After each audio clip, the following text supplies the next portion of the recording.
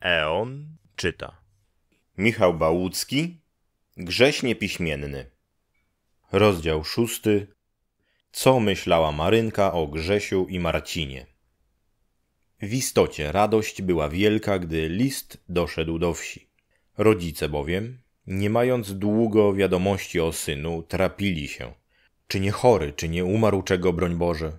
Byli tak ciekawi, co w liście stoi, że nie mieli cierpliwości biegać z nim do profesora. Tylko pobiegli, gdzie im było najbliżej, do chaty wójtowej i kazali Marynce czytać na gwałt. Czytała, jak umiała, nie uważając na przecinki, na punkty. Czytała jednym ciągiem, odpoczywając tam, gdzie jej tchu brakło, przekręcając wyrazy, ale ostatecznie rodzice, którzy słuchali więcej sercem niż uszami, dowiedzieli się, czego chcieli. O co im najbardziej chodziło? Że ich synalek zdrów, że mu tęskno bez domu.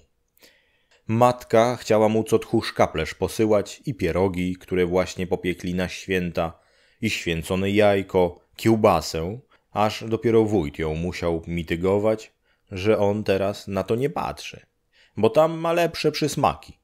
Wójt był także w wojsku na Węgrach, to wiedział dobrze.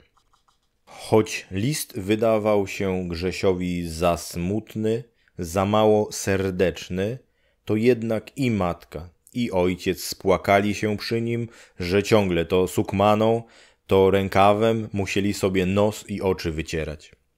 To ich tylko dziwiło i smuciło, że o Marynce żadnej wzmianki nie było.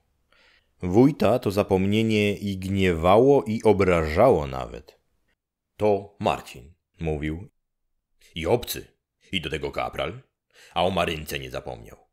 Mówił, że ona mu najmilejsza, choć Węgierki. Co to za dziewczęta te Węgierki? Mało to ich widziałem.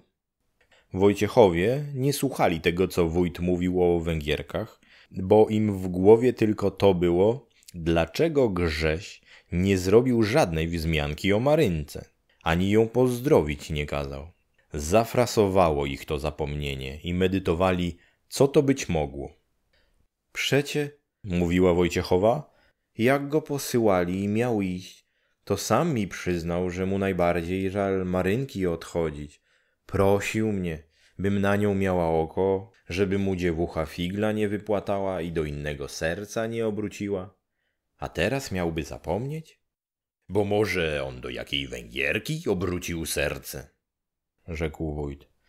E, co też gadacie? Tak by od zaraz. U Węgrów to duchem idzie, bo to naród gorący. Wino ich grzeje i pali. A szelmy Węgierki umieją bałamucić chłopaków. O, umieją. Tu zaczął im opowiadać różne w tym sposobie wypadki, na które patrzył własnymi oczami lub znał ze słyszenia. Marynka słuchała tego nie słuchając, bo kiedy jej ojciec mówił, ona myślała sobie o Marcinku. Gdy w liście czytała o nim, to serce zaczęło jej skakać w piersiach, jak wiewiórka w klatce i ognie jej na twarz buchnęły, że zdawało się spali ją. Szczególniej, gdy czytała, że ona mu milsza niż wszystkie Węgierki. To ją tylko dziwiło, że Grześ o tym pisze. Czy on głupi? Pomyślała sobie, żeby takie rzeczy pisał? Chyba, że taki głupi i niewiedzący. Kręci bicz na samego siebie. Nie od dziś miała ona już serce do Marcinka. Gdy go wzięli do wojska i słuchu o nim nie było, to dziecinne przywiązanie wyszumiało jej z głowy, ale teraz buchnęło na nowo, jak ogień rozdmuchany z popiołu i objęło ją całą. O Marcinku tylko teraz myślała i pisząc list do Grzesia z polecenia ojców, co kilka wierszy powtarzała, że wszyscy pozdrawiają Marcinka i dziękują mu sto razy za to, że pamięta o nich i żeby prędko wracał do wsi, to ludziom będzie weselej. Oj, kosztowało ją niemało to pisanie. Nie przez wstyd dziewiczy, jeno przez to, że nie mogła powiedzieć tego wszystkiego, co by chciała, bo to przecież list był nie dla Marcinka, ale dla Grzesia. Kosztowało ją trudu niemało, także dlatego, że ręka jej, odwykła już od pisania, stawiała litery koślawe i niekształtne. A ona chciała jak najpiękniej napisać w nadziei, że może Grześ Marcinkowi ten list pokaże? Jakoż pokazał mu nie przez życzliwość, jeno z musu. Marcin odczytał mu z listu to, co chciał, opuszczając to wszystko, co się do niego odnosiło. Tym razem, dla uspokojenia go, przeczytał, że Marynka go pozdrawia.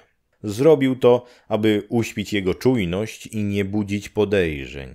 Za to nie przeczytał mu bardzo wiele z tego, co w następnym liście Grzesia wypisał o sobie.